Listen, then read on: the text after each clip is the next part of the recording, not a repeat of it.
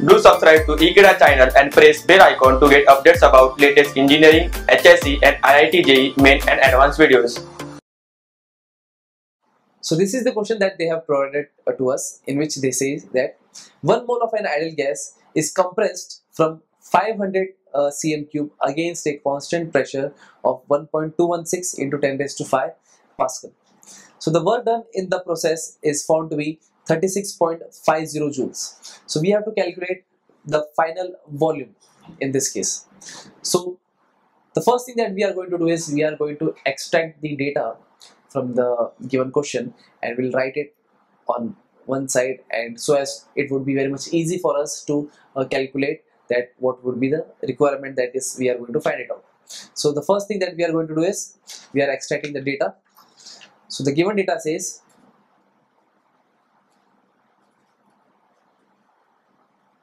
that the number of moles of the ideal gas that is when n is equals to 1 it has been given to us.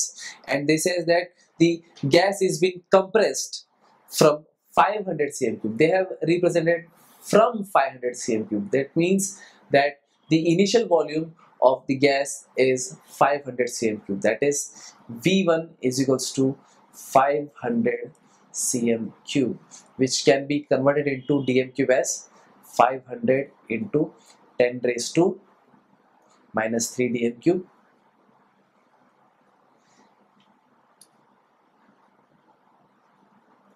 which will be equal to 0.5 liter. So this is the value of V1 that we have got. And they have said that the constant pressure is being maintained at uh, 1.216 into 10 raised to 5 Pascal. So the pressure that they have been maintained is the pressure that is maintained is 1.216 into 10 raised to 5 Pascal. So this Pascal can be converted or can be written as in this way like 1.216 into 10 raised to 2 into 10 raised to 3 Pascal. So that's so that this could be written as in kilopascal. So I could write it as 1.216 into 10 raised to 2 kilopascal. So this is the value of the pressure that I have uh, evaluated in this form. So the next thing that they have uh, asked is, uh, or they have given us, that is the work done in this process. So the work done in this process is found to be 36.50 joule. So I could write it here.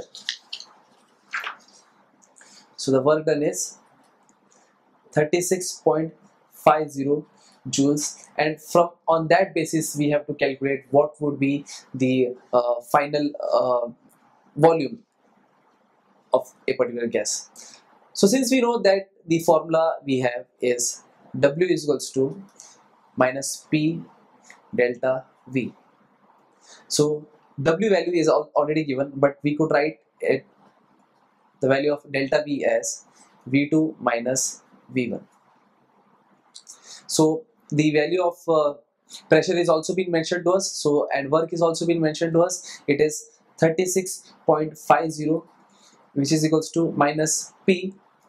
That is the pressure that they have been given is 1.216 into 10 raised to 2 and that of the volume that is v2 that they have been asked so we don't know the value of v2 minus the value of v1 in this case the value of v1 is found to be 0.5 so the first thing that i am going to do is i am going to evaluate these two things and let us see that what is the value of v2 that we will get.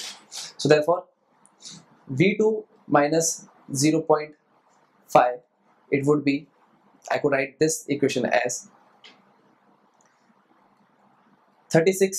36.50 divided by minus 1.216 into 10 raised to 2 so let us see what is the answer that we could get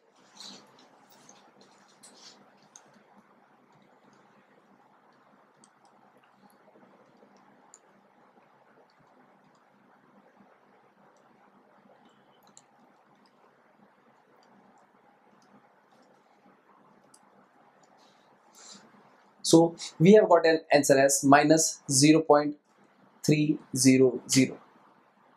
So when I will substitute the value of 0.5 over there, this will be converted into uh, that is plus 0.75 uh, plus, uh, 0.5. So therefore, I could write it in this way that is V2 minus 0.5 which is found to be minus 0.300. Now this can be written as minus 0.300 plus 0.500. I could write it in this way.